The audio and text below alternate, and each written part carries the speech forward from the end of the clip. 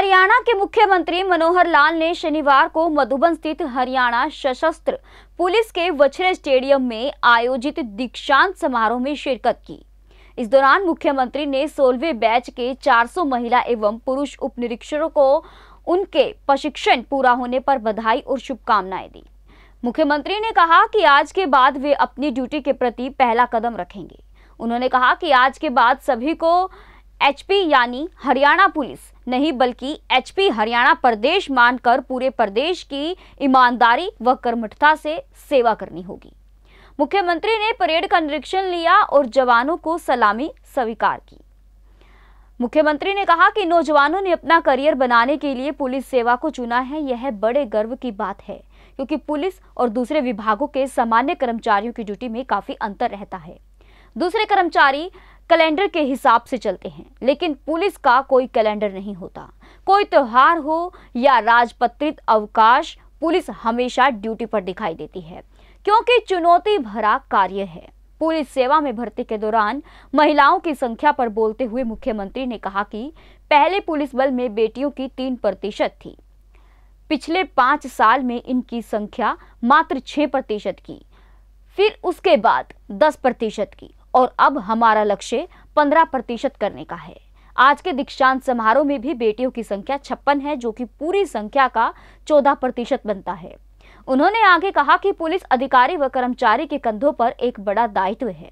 उनकी नौकरी केवल आजीविका कमाने के लिए नहीं है, बल्कि उसमें समाज सेवा का भाव निहित है। आज भ्रष्टाचार समाज के सामने एक बड़ी चुनौती है, जो एक नासूर की तरह है। उन्होंने कहा कि उम्मीद है कि पुलिस के जवान न केवल इससे दूर रहेंगे, बल्कि समाज से भ्रष्टाचार को मिटाने के लिए काम करेंगे।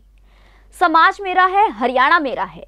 इसको आगे बढ़ाने के लिए काम करना है। इस तरह की भावना रखेंगे।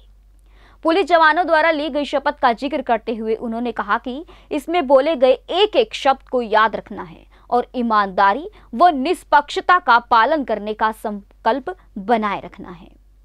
उन्होंने कहा कि हम युवाओं को योग्यता के आधार पर नौकरी देने के लिए प्रतिबद्ध है। इस दिशा में हमने पिछले लगभग छह सालों में सत्तर हज़ार से अधिक युवाओं को उनकी योग्यता के अनुरूप सरकारी नौकरी दी है। पुलिस में भी हमने पारदर्शी तरीके से भर्ती करने के लिए टीआरपी लागू किया है। इसी का परिणाम है कि आज सभी वर्गों और सभी क्षेत्रों से उच्च शिक्षा प्राप्त युवक युवतियाँ पुलिस में भर्ती हो रही हैं। हरियाणा पुलिस में खेल के स्तर पर सुधारने के लिए राष्ट्रीय व अंतर्राष्ट्रीय स्तर के खिलाड़ियों को भर्ती किया गया है। मुख्यमंत्री ने कहा कि हरियाणा सरकार ने राज्य में हर ज़िले में मॉडर्न पुलिस थाना बनाने का निर्णय लिया है। राज्य में पाँच पुलिस रेंज मुख्यालयों और कमिश्नरेट फरीदाबाद में छह नए साइबर क्राइम पुलिस स्टेशन बनाने को मंजूरी दी है। उन्होंने कहा कि मधुबन में स्थित पुलिस कॉम्प्लेक्स में भी फोरेंसिक साइंस प्रयोगशाला का ट्रैकिया बार कोचिंग सिस्टम का शुभारंभ किया गया है।